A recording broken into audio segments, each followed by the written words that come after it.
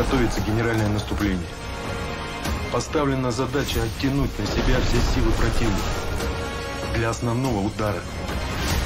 Поэтому ты пойдешь и возьмешь Овсянникова. У меня полроты осталось! Я не спрашивал, старший лейтенант, сколько у тебя людей.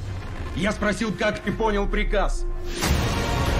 Я даю тебе и твоей роте последний шанс искупить кровью. Фая! Мы должны заставить их понять, что мы умеем не только отступать, но и стоять насмерть. Вы отправляете их на верную, бессмысленную смерть.